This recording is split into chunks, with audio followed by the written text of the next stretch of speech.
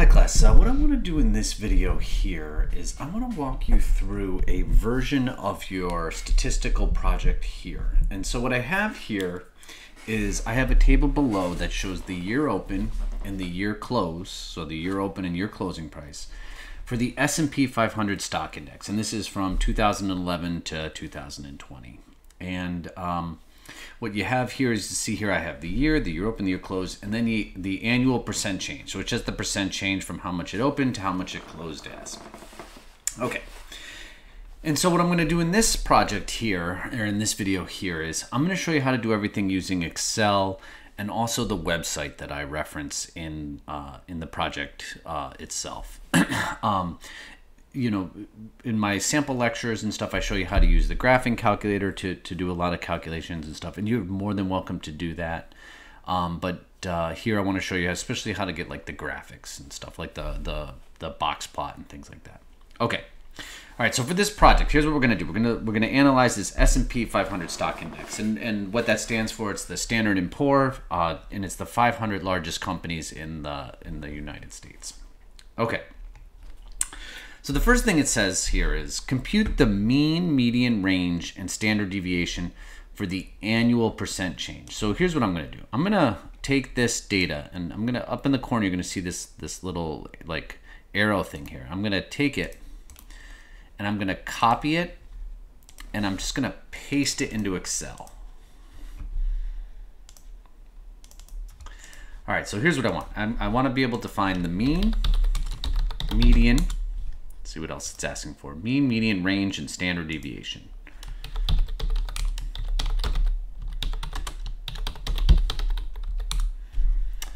So in Excel, you can do this actually very, very easily. Okay, so you can go equals, and then to find the, the mean, you can go average, and then it's gonna say select the, the values you want. So I want it for the annual percent change. So I'm just gonna highlight everything. And it'll tell you like, look, over this, over this period, over this 10 year period, right? It's saying on average this stock index returned 11.53%. Uh, you can do equals the median, and it's the same thing. The median return was 12. So the range, so if you go equal, you notice there's no range. So what you can do is you can do equal the max value, highlight, close minus the min value because that's the, and then highlight the same thing. And you can see here the range was, was pretty big. For standard deviation, you, it's STDEV, and then you're going to do dot P. It's the it's a population here instead of a sample because you actually have all the, the full values.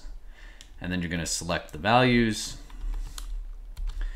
And you can see here that, you know, I'm going to change this to a percentage. And so, you know, pretty big percent change. Okay, it's almost the same value as, as the mean here. All right, so then after I do that, I'm gonna just highlight this, copy this table that I made, and you can actually write this out. You don't have to do a table if you don't want. And I'm just gonna paste it right in here. All right, so on your own, what it's gonna say is also the standard deviation is a measure of risk, okay? So does investing in the S&P 500 have some risk? So think about, you know, what a standard deviation measures. Okay, it measures it's in it's tells us some some measure of the spread of the data, and think about the the standard deviation in terms of um, you know how big it is compared to the mean. All right, so i I'm gonna put this here answer on your own. I'm, I'm, I'm very interested in, in, in, in what you think okay? All right, so the next question says, all right, from here, use Microsoft Excel or this website to construct a box plot for the annual percent change. So in Excel, it's actually very easy, depending on the version of Excel you have. What you're gonna do is you're gonna highlight the column or the data that you want. You're gonna go Insert, and then I have an updated version of Excel here so mine says recommended charts. So I'm going to click on recommended charts. I'm going to go over to all charts and it wanted this box plot. So I'm going to click, here's the box plot. And then I can change the title.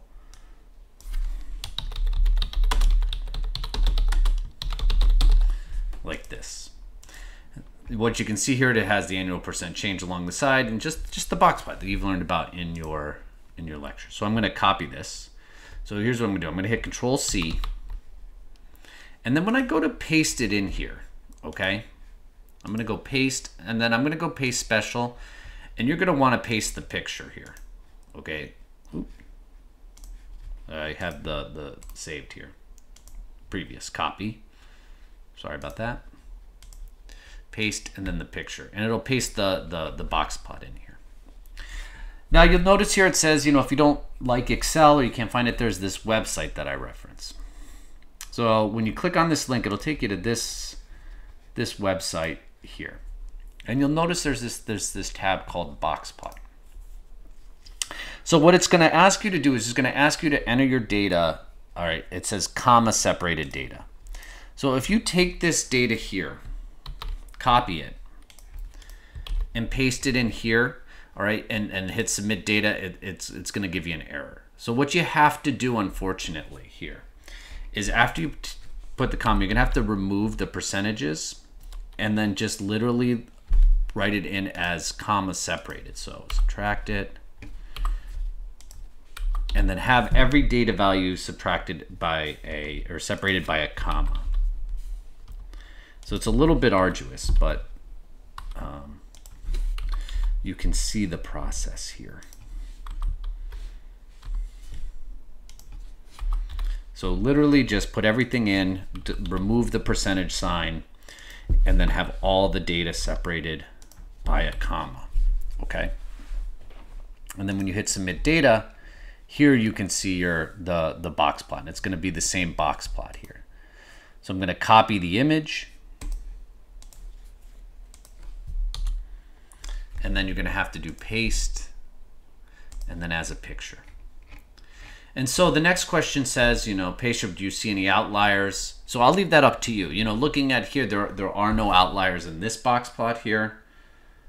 Um, you know, but but this is a way that you can get the box plot using Excel or this website. All right, let's see what the next question asks us.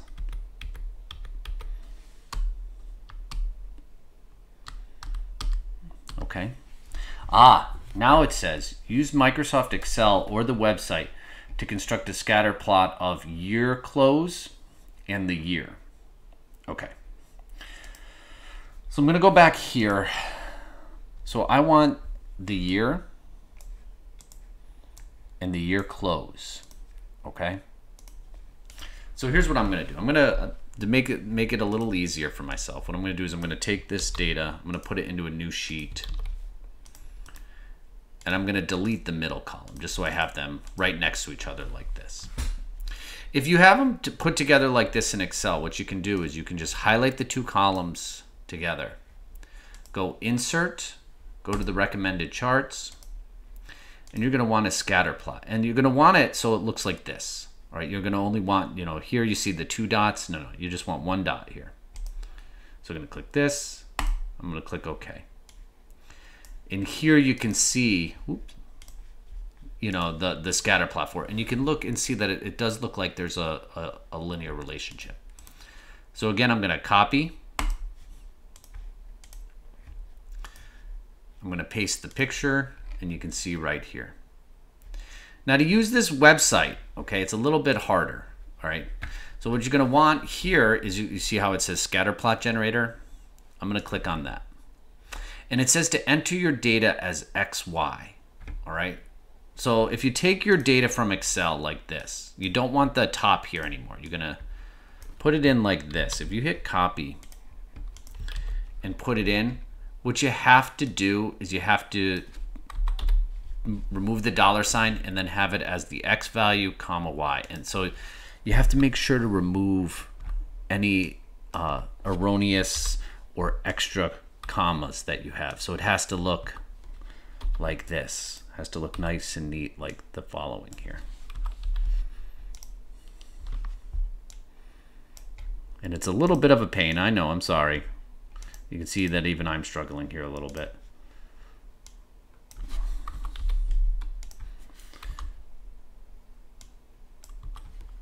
But you just have to remove that extra comma because you don't want the extra extra comma there.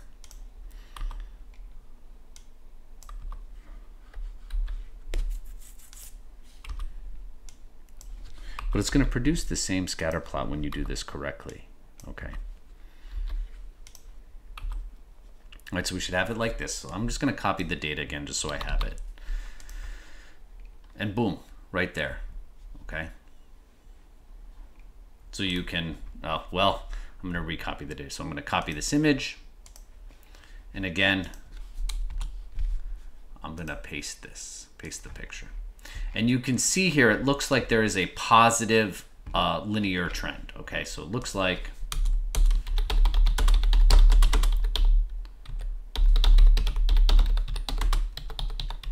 trend to the data.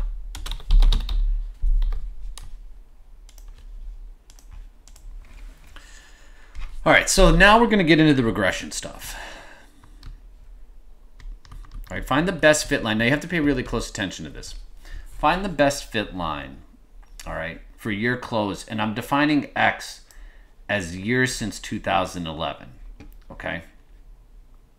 So what I'm going to have to do here is create a new X variable. So X is years since 2011. So you would have had to have watched um, my video on time series regression, okay? And that explains exactly how to do this. So this will be 0, 1, 2, three, four, five, six, seven, eight, nine. Okay, since it's years since 2011 here. All right. So to do this in Excel, all right, um, what you can do is you can go equal slope, and it says known y values, and you can select the y values, comma, and this is now our known x values. Right, and this is the slope of the regression line. To find the intercept, you go equals intercept, and then you do the known y's, comma, the known x's. Or at this point, by the way, you could also use your, your graphing calculator, okay? So it looks like this slope is uh, two, uh, $245.15. So we have y is equal $245.15 times our x variable plus our intercept, which is $1,200.94.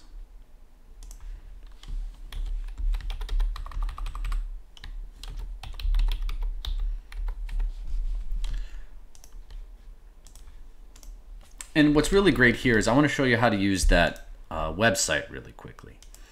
So if I recopy this data, okay, and go back to the to the website here, and you see this thing called uh, a linear regression. What I'm going to do here is I have to change this data. You're going to have to change your x values. 0, 1, 2, 3, 4. A little bit of a pain.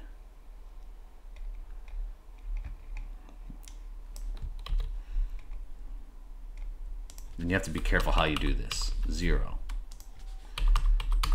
one, two, three, four. Got to be meticulous. Five, six, seven, eight, nine and then hit enter. You can see here it puts the, the, the regression equation up here, but it shows it a little differently. Here you can see the slope is 245, 15, which is what we had, and 1294 uh, or, or 1294. So it's the same thing. So you can use Excel, you can use your graphing calculator, or you could use this. All right, next it says find the value of the correlation coefficient. What's great about this website is you can just literally un- hit this correlation coefficient here and it tells you right there. It saves your data over. So it's R is equal to 0 0.9627 uh, when we round it.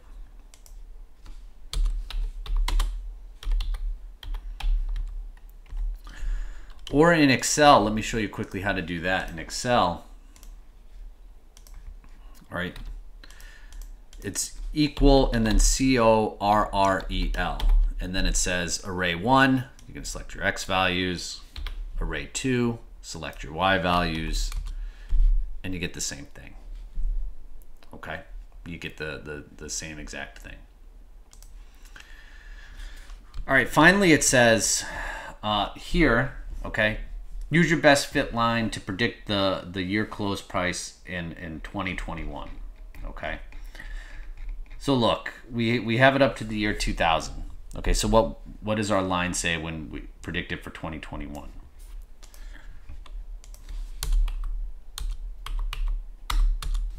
So in 2021, x is equal to 10. So you're literally just going to take 10 and plug it into our equation here.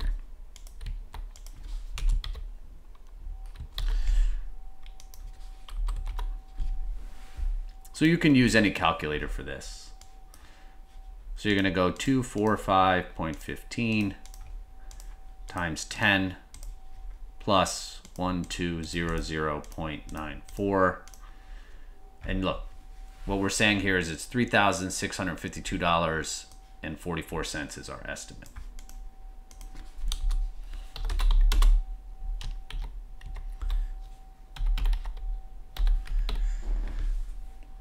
All right, class, I'm going to attach um, my Excel work and this sample project there for you um, in, in the classroom here. And I know this was just quick, all right? What I really wanted to show you how to use here was Excel and that website to get these these these graphics here. All right. If, if you like using your graphing calculator, you're more than welcome to use your graphic calculator. Sometimes that's just easier um, for for like the regression line in R, things like that.